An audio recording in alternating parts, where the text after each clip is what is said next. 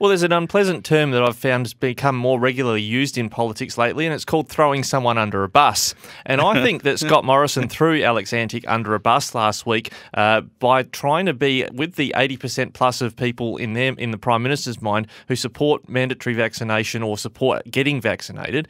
Uh, and I think that he's gone to Alex Antic uh, and looked at that example and said, "Look, I need to distance myself from him." That's got to have some people in the coalition worried about what the PM might do for political expediency to one of them.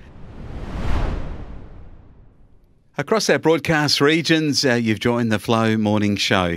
Today, uh, we're having a look at the topic of uh, whether Alex Antic lied to the Prime Minister. Now, this is becoming uh, a little hot potato.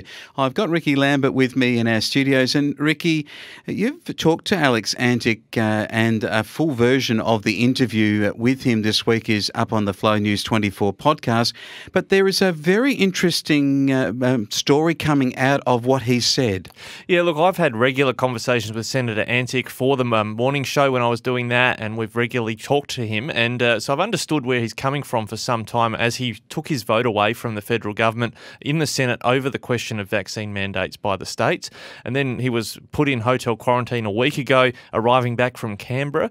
Uh, and when I put to him today these comments from the Prime Minister, where he said Alex Antic had misled him about his vaccination status, this is what he's had to say. You know, I, am sort of a bit bemused by why anyone, be it the Prime Minister or uh, my mother, uh, would be talking about my private health care uh, publicly. I mean, I, I, that's my, always been my line. It's not something that, you know, I have ever suggested anyone should talk about. And so questions in that regard can be put to the Prime Minister, but I, I, can say very comfortably that I have never misled the Prime Minister about anything. Um, and so that's about all I can tell you. Yeah, so you're just categorically saying you never made a representation to the Prime Minister about what your vaccination status was? No, no, no, absolutely not.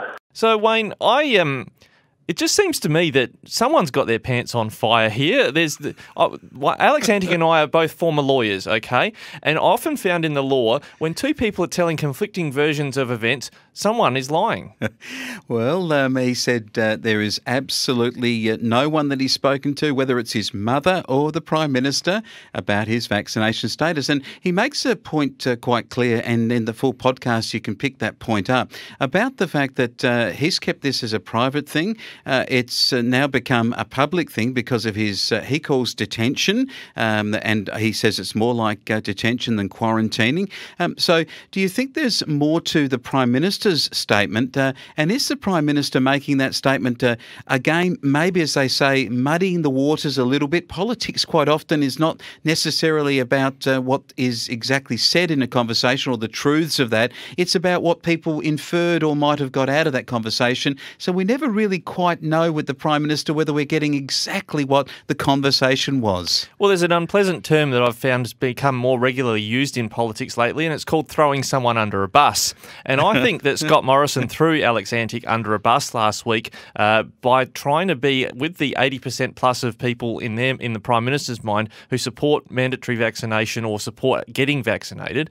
Uh, and I think that he's gone to Alex Antic uh, and looked at that example and said, "Look, I need to distance myself from him." That's got to have some people in the coalition worried about what the PM might do for political expediency to one of them. If this uh, becomes uh, a greater story from the comments even made by Alex Antic today, I mean, where does this leave Anthony Albanese? Does he um, go with the line that the Prime Minister has lied? I mean, that has been the line that uh, the Labor Party have been prosecuting about Scott Morrison in more recent times. Well, I think that's a line of attack that might come off of this interview with uh, Flow FM and on the Flow News 24 podcast. Uh, we know Labor's jumped on some things that have been said on the Flow podcast before, so uh, maybe they will take it as a line of attack. But Anthony Albanese, he is looking hot to trot. I mean, he's looking really sharp, Wayne. I, I, I think if he looks a bit like Paul Hogan after he emerged on the emerged on the scene, looking very fresh faced in Hollywood. oh, dearie me, uh, stretch and attack and all that sort of stuff, maybe, but. Uh, Albo certainly um, lost a bit of weight, I think you'd have to say, and uh, getting himself primed for a federal election. If you want to hear the full podcast at Flow News 24, it is really worthwhile hearing what Alex Antic does say, and that uh, conversation with Rikki Lambert and relating to the Prime Minister may well have a few problems ahead for our Prime Minister, and certainly it could be something that Alex Antic um, is going to be looking at uh, to look further at uh, as he gets out of detention.